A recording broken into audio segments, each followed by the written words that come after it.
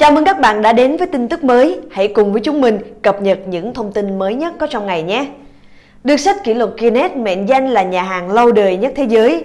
Sobrino de Botin nằm nếp mình trong một góc nhỏ giữa lòng thủ đô Madrid, Tây Ban Nha. Sau đây, mời các bạn đến với nội dung chi tiết. Nhà hàng Sobrino de Botin được thành lập năm 1725 bởi Jean Botin cùng vợ. Sau này, nhà hàng được truyền cho cậu cháu trai là Putin và bây giờ thuộc sở hữu của gia đình Gonzalez. Mặc dù quy mô của Soprino de Putin không lớn, nhưng những đầu bếp và nhân viên nơi đây luôn cố gắng để giữ phong vị của nhà hàng không thay đổi qua nhiều năm. Ông Luis Xavier Sanchez, phó quản lý nhà hàng, chia sẻ, Công thức nấu ăn của chúng tôi có từ lâu đời và đến nay đầu bếp vẫn trung thành với truyền thống cũ. Sobrino de Botin qua nhiều năm vẫn giữ được không khí của quán rượu truyền thống Tây Ban Nha. Nhà hàng có 4 tầng và 3 phòng ăn, phòng bodega hầm, phòng Castilla và phòng Felipe 4.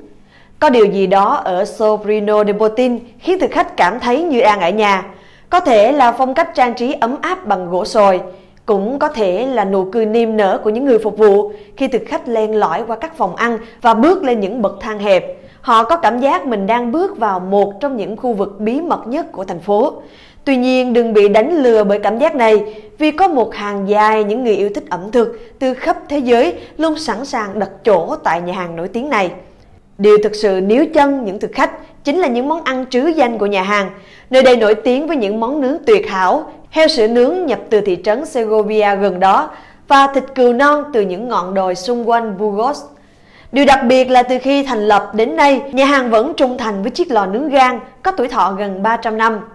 Sobrino de Botin có fan hâm mộ đến từ khắp nơi trên thế giới, bao gồm cả các tiểu thuyết gia nổi tiếng Graham Greene và Ernest Hemingway.